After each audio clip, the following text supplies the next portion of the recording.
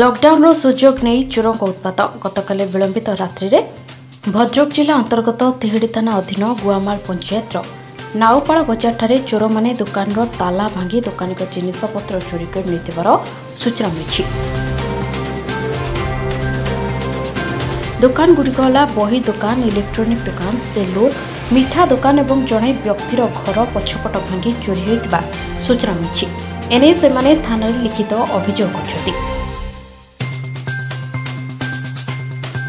ଭଦ୍ରକ ତିହିଡ଼ିରୁ ବିବେକାନନ୍ଦ ମହାପାତ୍ରଙ୍କ report news ଫର ଓଡ଼ିଶା